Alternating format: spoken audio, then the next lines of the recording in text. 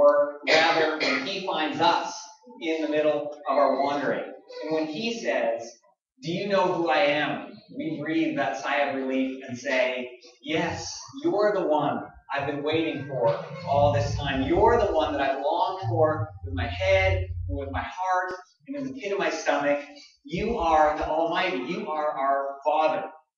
And in our story, it's different because God's not uh, an absentee or absent-minded parent that sort of took off and left us on our own. But like the Are You My Mother story, human beings are very much like the lost bird.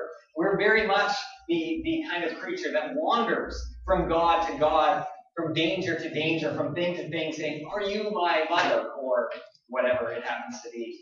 As humans, part of who we are, our very identity is that we're searchers. We, we look for something because we need something to complete us.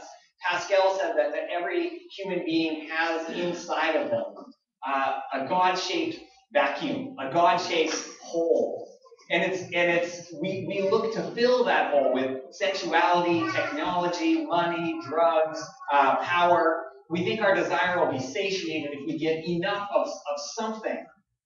And it's not always the, the negative stuff that we look to to uh, complete us in our search. We also look to human relationships, where we try to, to, to build something that's good. Uh, maybe health and exercise will fulfill us. Maybe if we really study hard and we get smart enough, that's the thing that'll bring us, that, that, will fill that, that longing and, and, and bring us the thing that we've always been looking for. And we ask ourselves, if I do this enough, if I accomplish enough, if I go along this path enough, will that bring me home? Will that make me okay? Will that, that give me peace and, and joy? Humanity is hungry, and I believe that the human condition is that the search is on.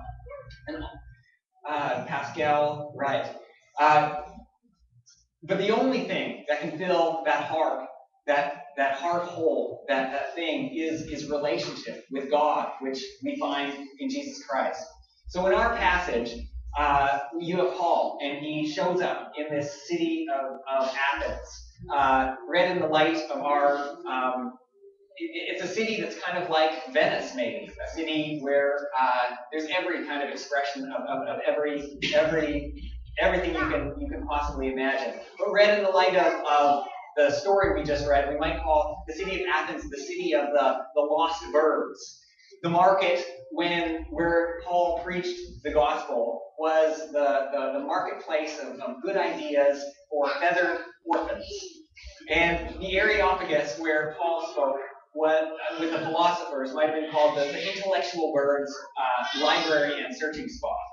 And you think that Paul's a, a, Bible guy, right? He's, he's, he's a, a religious guy. You'd think that if somebody would, would be repelled by all this searching, it would be the Bible re- religious guy. Paul seems like a very stark contrast to wandering birds. He knows what he believes, and he proclaims it fearlessly and, and, and, and all the rest of it. Paul wrote more of the New Testament than, than anyone else, and 2,000 years later, he gives us most of our Christian theology. And, and, and this Paul, this apostle chosen by God to bring the gospel to the Gentiles, you'd think that he'd be repelled by all these re- religious people and, and, and, kind of like shut the door on them or, or saying something judgmental. But Paul recognized that he too had that same God shaped vacuum that everybody else has. Paul, even in idolatrous Athens, knew that there's not two kind of people in the world, there's one kind of people. And that's the kind of person that needs God, kind of people that need God. But one kind of person is the kind of person that needs God. And it was Paul who wrote, would write later on to Timothy, here is a trustworthy saying that deserves full acceptance. Uh, in other words, all of us would do well to recite this and remember it uh, well. Jesus Christ came into the world to save sinners, of whom I am the worst.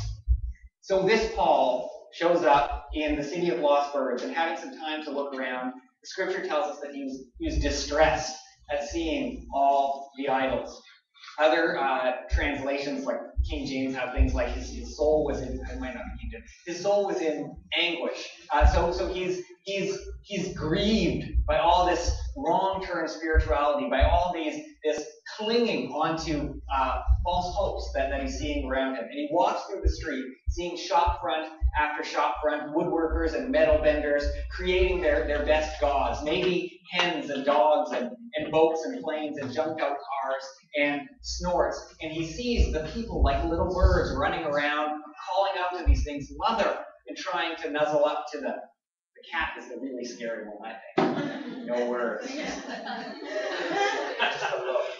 but the thing that, that, that, that, strikes me is that when Paul sees all this evidence of, a lostness, his reaction is not outrage. His, his reaction is not condemnation.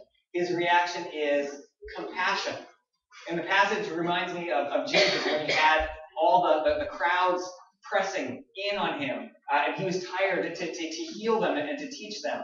And it says that Jesus looked out and he had compassion on the crowd. Paul was sad, not mad, when he saw the waywardness of Athens. So Paul starts to speak. He starts to teach in the marketplace, and he starts telling this, this strange countercultural story, uh, and he gets noticed. And before you know, note it, not know it, he's invited to this big Areopagus, this this um, official philosophical uh, setting to, to speak. And, and what I like about in, in, in the book of Acts, it, it doesn't show it. Uh, well, it talks about the, the gossip, but Luke gives this disparaging kind of parenthetical remark, kind of dissing uh, the city of, of, Athens in his account of the story, where he says basically all these lazy people did is, is sit around and yap about the, the latest ideas and everything else. But as true as that went was, again, Paul did not condemn them or write them off. Instead, he engaged them exactly where they were, not in his context,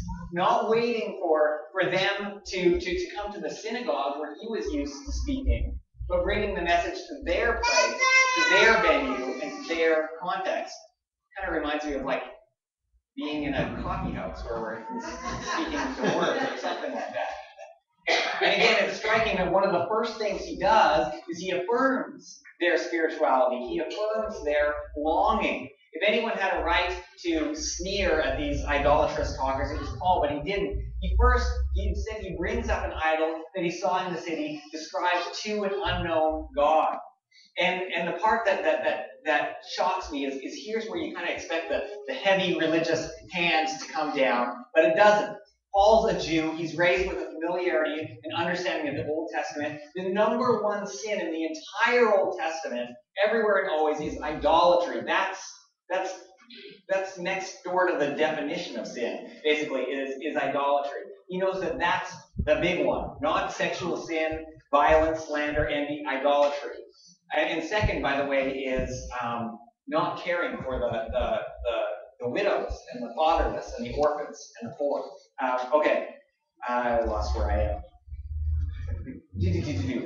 So Paul doesn't condone, he doesn't wink at their idolatry. He doesn't say, oh, it's not a big deal, or he doesn't say, well, you know, it's it's cool, it, it, it, it'll work out. It's not that it's okay, but he understands the mystery that it's while we're sinners, it's while we're running the opposite way of God, saying, I can't care less of you. It's at that point that he dies for us and invites us into relationship with him in love.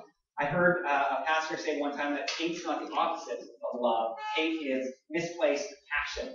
And it kind of uh, rang true with me that our greatest shortcomings and sin are often not the opposite of good. They're, they're twists or one-offs or bent efforts or something. I don't know. So Paul saw the idols in Athens, and he sees that the people's greatest shortcoming is that they're doing stupid things with a good longing. That God-shaped hole, that vacuum, that, that desire for joy and peace that we all have is a good thing.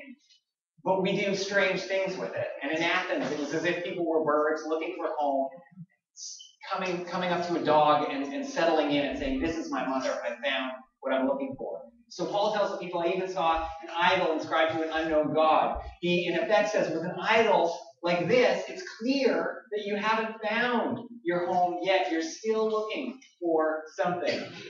And he goes on to say, What you proclaim is unknown, I am going to proclaim to you. And Paul goes through the message. He proclaims that reconciliation with the one true God is possible and has been accomplished in Jesus Christ, his death and resurrection from the dead. And he tells them in their vernacular. He quotes the, the, the songs of their poets, even, the rock stars uh, of the day. He's doing it in their venue, in their terms, taking a central object of their culture and their uh, top 40 or whatever, and he tells them who Jesus is, and he invites them into the life that's there for us in his name.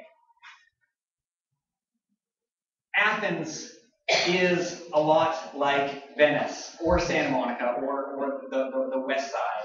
We live in a place where the search is on. We live in a place where the search is on in, in our own lives and in our own hearts. And we live in a place where there's all kinds of cows and cats and, and tractors and dogs saying, this is where you'll find the, the, the home your little bird heart is looking for. And as, as, as and, and a lot of times, uh, the, uh, stop. I've had this happen several, several times this, this week. And a lot of times, as people who, who've been found in relationship with God because of, of Christ, who, who've experienced the joy. And we sometimes can, can appear uh, a lot like a snort. And and uh, sometimes our culture's uh, uh, perception of Christians is is like a snort. And, and sometimes Christians act a lot like that. So a, a snort is that thing was a, a huge machine. It could make a lot of noise. It could do a lot of damage. It could, it could do a lot of stuff. But the call, what I love about this story and, and, and seeing what, what Paul is doing and having compassion on the people is that the opportunity is for us, snorts that we are, to, to proclaim the message, proclaim the good news, and bring those, those little birds into the, the nest, into the knowledge, which is true, which is the gospel, that God loves us and God invites us into relationship with Him in Christ. And there's nothing that you have to do, and there's nothing you, no test you have to write, and there's there's nothing you can do before or after to earn it because of His grace and His love. Today, today is the day that, that God calls us into uh, relationship with Him. Amen. So, as recipients, as bearers of that message, when he says to us, Do you know who I am? Again, we can say, Yes, you're the one I've been waiting for. You're the one I've longed for. You're the one that, that, that my head has been trying to conceive of, the one that, that, that my heart has been bleeding for. You're the one that in the pit of my stomach I long for. You're the Almighty. You're the Creator. You are good. And I come to you. So let's come to Him now in prayer. God, we thank you for your grace. We thank you for your love. And we thank you that it's, it's, it's you who make us, that, that there's nothing that we can do to earn it, but that just because of your grace and love, you invite us to live in a relationship with you. We just pray that that would be our reality right now. We pray that your Holy Spirit would come into our hearts. Let us know you're there. Comfort us. Fill that hole within us. We pray this in Jesus' mighty and powerful name. Amen.